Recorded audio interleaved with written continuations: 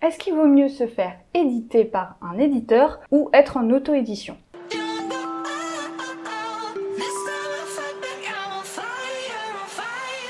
Question délicate. Alors, quelles sont les différences entre se faire éditer par un éditeur, une maison d'édition, ou faire tout en auto-édition quand on fait un livre photo? Alors, moi, je veux plutôt vraiment parler du livre photo. Hein. Après, ça peut marcher aussi pour un livre classique, euh, un roman ou autre qu'on édite. Moi, je parle pour mon cas, hein, puisque j'ai dû créer un livre photo. Donc, se faire éditer, ça veut dire que ce qu'on appelle une maison d'édition ou un éditeur, c'est un métier, va s'occuper de l'édition.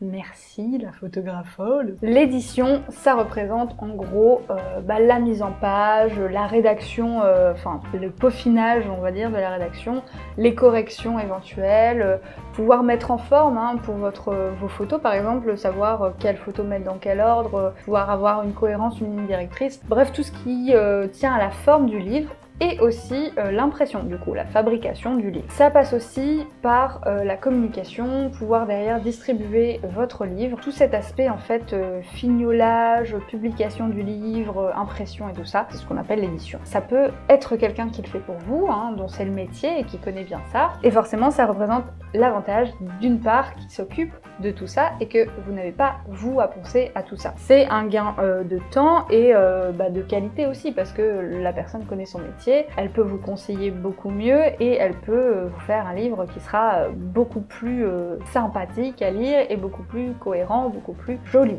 Il y a des règles à respecter hein, de mise en forme et tout ça et voilà, vous pouvez être sûr que votre livre sera beaucoup plus abouti en passant par un éditeur. L'éditeur va aussi pouvoir avoir des prix plus avantageux pour les impressions parce qu'ils ont une liste d'imprimeurs qu'ils connaissent et, du coup ils peuvent voilà, avoir des prix beaucoup plus avantageux. Ils s'occupent de tout ce qui est impression, de tout ce qui est distribution aussi. Donc vous, vous n'avez même pas à penser à combien de livres je vais devoir imprimer, euh, à quel coût, etc. Enfin tout ce qui est calcul et tout ça, c'est eux qui le font. Et d'ailleurs, ils s'occupent aussi de euh, avancer les frais, les coûts de l'impression. Donc euh, ça c'est un gros avantage aussi, vous n'avez pas à mettre de votre poche. Grâce à ça, vous pouvez aussi vous permettre de vendre le livre moins cher parce qu'ils auront des prix plus avantageux donc forcément. Et vous allez pouvoir aussi avoir la possibilité d'être distribué chez des libraires c'est eux qui s'occupent en fait de contacter euh, les libraires. Vous avez peut-être la possibilité d'ailleurs d'être à la FNAC, Cultura ou autre. Vous avez une plus grande marge de distribution. Euh, d'ailleurs, je crois avoir lu que la FNAC ne prenait pas de livres auto-édités. Donc je crois que vous êtes obligé de passer par une maison édition euh, pour aller à la FNAC. Et Cultura,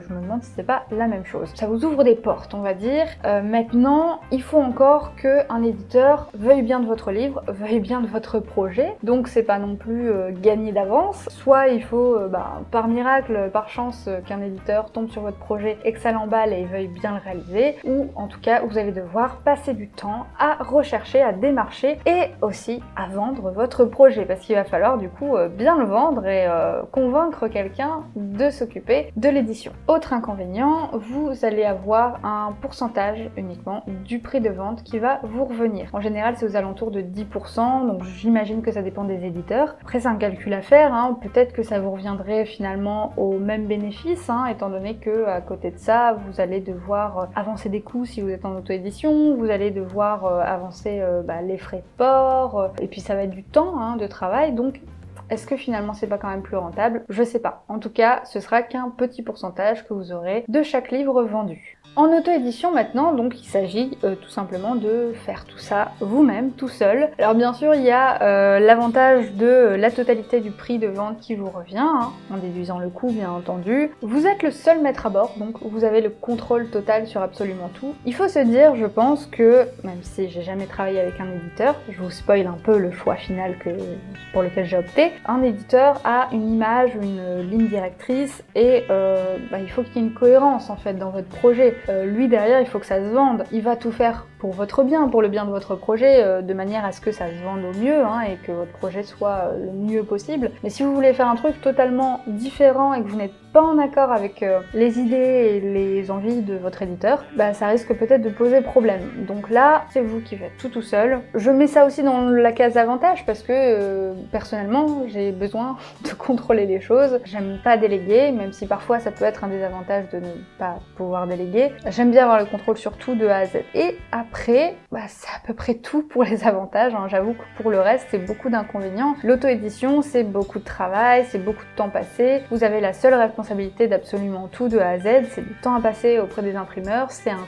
aussi, euh, des devis à faire, bref, c'est énormément de choses. Il y a aussi un risque d'échec. Hein. Euh, vous, risquez peut-être que ça ne fonctionne pas, que votre livre ne se vend pas. Il y a un risque financier aussi. Et la prise en charge des finances, hein, du coup, ou une recherche de financement à établir. Et d'ailleurs, euh, quand je dis s'occuper de tout, il y a aussi la distribution. Hein. Derrière, il va falloir tout mettre en colis, tout envoyer un à un. Vous allez faire un métier aussi de logistique derrière et de, de, livreur quelque part parce qu'il va falloir déposer à la poste absolument tous les colis. Donc c'est aussi un gros boulot derrière, hein. faut pas le négliger. Il y a beaucoup de désavantages effectivement et on peut se dire, bah, vaut mieux opter pour un éditeur. Pourquoi je n'ai pas opté pour une maison d'édition ou un éditeur? Alors au-delà du fait que bah, déjà il faut trouver un éditeur qui veuille bien de notre projet et que j'avais pas envie de passer un temps de malade à devoir chercher un éditeur, il y a aussi l'aspect temps en fait. C'est un projet que j'ai voulu faire pour mon livre euh, sur euh, quelques semaines, quelques mois hein, au final, mais euh, moi en, gros, même si c'était la première fois que je faisais un livre et que je pensais pas que ça me prendrait autant de temps, j'étais un peu, un peu ambitieuse sur le temps que j'allais y passer. Pour moi, en un mois, ça allait être fait. Le mois d'après, j'allais m'occuper des imprimeurs et tout ça, et tac, ça allait être envoyé.